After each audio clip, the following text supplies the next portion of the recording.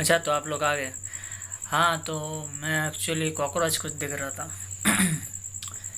हाँ कॉकरोच ने आज अचानक से मेरे ऊपर अटैक कर दिया, बिना कुछ बातचीत किए, ऐसा नहीं करना चाहिए, ख़राब चीज़। लेकिन बात यह है कि अटैक किया क्यों?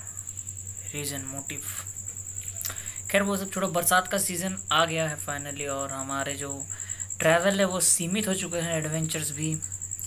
तो आज क्या हुआ? आज बारिश का मौसम था, भीगे भीगे से हम थे। और मैंने मोबाइल को एक प्लास्टिक रैपर के अंदर डाला, मैं और सनी बजे थे नदी के किनारे। और बाँस का जो ब्रिज है, हम उसके ऊपर थे खड़े हुए, बारिश में ऐसे भीग रहे थे। भीग रहे थे मतलब कोई काम धंधा है नहीं, बारिश में खड़े खड़े भीग रहे दोनों। ऐसे, मज़े के लिए। कोई हमको लेना देना कुछ है नहीं, बारिश में भीग रहे दोनों, ठीक है?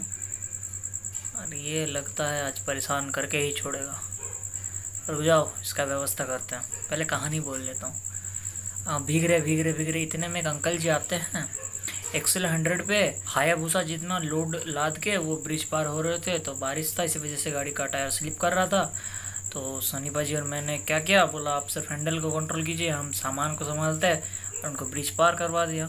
ऐसे एक काम था हम लोग, ऐसा अच्छा ही करते रहते हर वक्त। सही था उसमें और भी ज़्यादा भीग गए। फिर घर आए, घर में डांट पड़ा कि भीगे क्यों? तो हर रोज़ पड़ता है। मतलब घर वालों का यही मोटिव कि घर पे बैठे रहो। और हाँ, मेरा यही मोटिव कि ज़िंदगी ना मिलेगी दोबारा घर पे बैठ के कुछ नहीं जाता आता। बाहर चलो। बस। इसी रीज़न पे होते रहते बहस। क्या ही बोले अब।